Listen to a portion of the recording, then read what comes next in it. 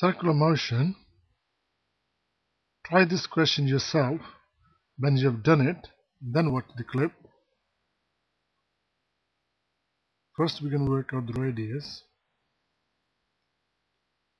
So the hypotenuse is 1 meter angle is 50 so the opposite is equal to sine 1 times sine 50 degrees we don't need to work out the numerical value we just use it as it is. Then we're going to resolve it horizontally. So first we need the component of this tension we call it T1 and this tension we call it T2 so the component acting to the left is T1 sine 50 Similarly here, plus T2 times sine 50 and it's equal to centripetal force which is m v squared divided by r. And we rewrite t1 sine 50 plus t2 sine 50 m is 4 v is 5 so it's 5 squared divided by r which is sine 50 then we divide both sides by sine 50 so we get t1 plus t2 4 times 5 squared is 100 so we already got sine 50 then we have to divide by another sine 50 so it's a sine squared 50 on the bottom.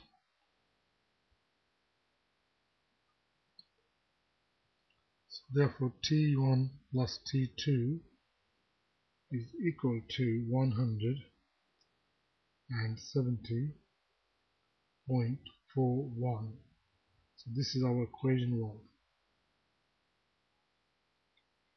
Then we resolve it vertically.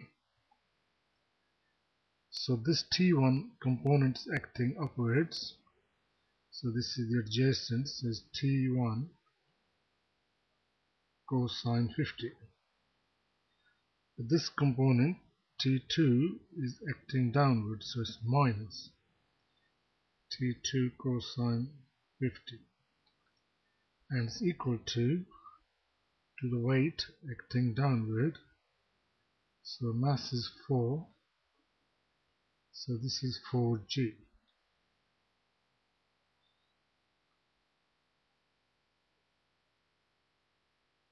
then we divide both sides by cosine 50 so we get t1 minus t2 4g divided by cosine 50 we get the answer. 60.98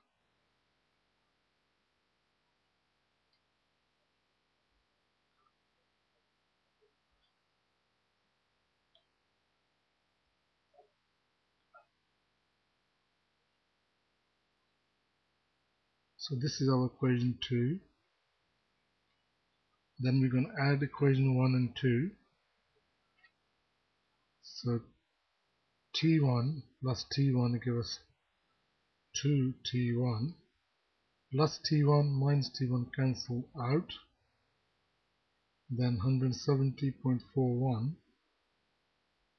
plus 60.98 we get 200 31.39 and we divide by 2 we get T1 is equal to 115.697